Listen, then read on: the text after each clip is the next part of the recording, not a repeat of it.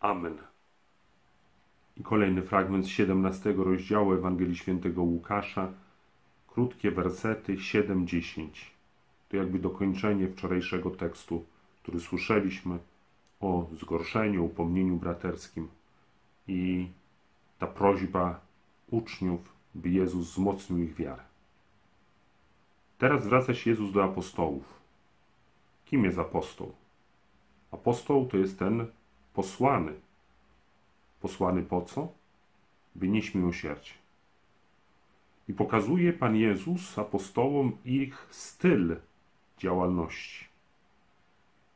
Jesteście po prostu sługami. W naszym tłumaczeniu często słyszymy, jesteście sługami bezużytecznymi. Ale w sensie nie, że niepotrzebnymi, bo sługa jest potrzebny, żeby służyć, ale sługami, którzy nie zarabiają, którzy nie mają korzyści, którzy działają bezinteresownie. Po prostu jesteście sługami. Słudzy sług.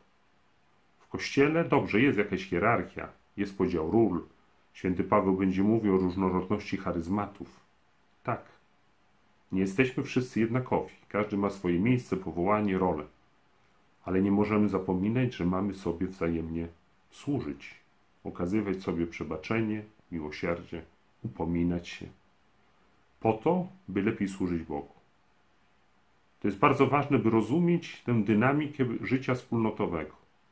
Są różne odpowiedzialności, miejsca, zadania i powołania. Nie jesteśmy wszyscy jednakowi. Każdy ma własną drogę, własne doświadczenie, ale jesteśmy dla siebie sługami, po to, by wspólnie służyć Bogu. To jest coś bardzo istotnego dla nas. I znowu, żeby połączyć te teksty dzisiejszy i wczorajszy, bo one stanowią pewną całość, bez wzmocnienia wiary jest to niemożliwe. Wtedy, jeżeli nie ma wiary, zaczyna być kariera, zaczyna być szukanie korzyści, pozycji, ważności. To nie jest styl życia wspólnoty, którą zakłada Jezus. Mamy być sługami, po prostu sługami. I na koniec jeszcze, by zrozumieć lepiej może te fragmenty, które dzisiaj czytamy, w tych dniach czytamy, ktoś zasugerował, i proszę to sprawdzić, czy tak funkcjonuje. Postaram się jakoś to z boku teraz napisać. Mianowicie ktoś pokazał, że te rozdziały od 11 do 17 są ilustracjami modlitwy, którą uczy Jezus swoich uczniów, modlitwy Ojcze.